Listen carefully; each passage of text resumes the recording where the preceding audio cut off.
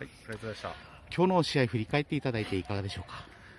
えっ、とそうですね。えっ、とまあ怪我人とかもいる中でしたけども、えっ、と最後は攻撃的に、えー点数も取れて、えー締めくくれてよかったと思います。今大会の、えー振り返りと、あと今年のですね、チームのあの目標などありましたら、お聞かせいただいてよろしいでしょうか？はい、えーまあ、こういうコロナ禍という中で、えー大会をですね、えー運営してくださった方々、また、えー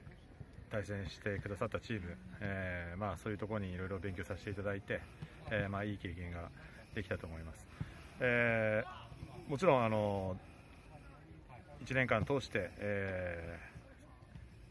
全国大会優勝だったりですねそういった目標を、えー成し遂げられるように、えーこの経験を生かしてですね積み上げて、えー頑張っていきたいと思います。どうもございました。どうもありがとうございました。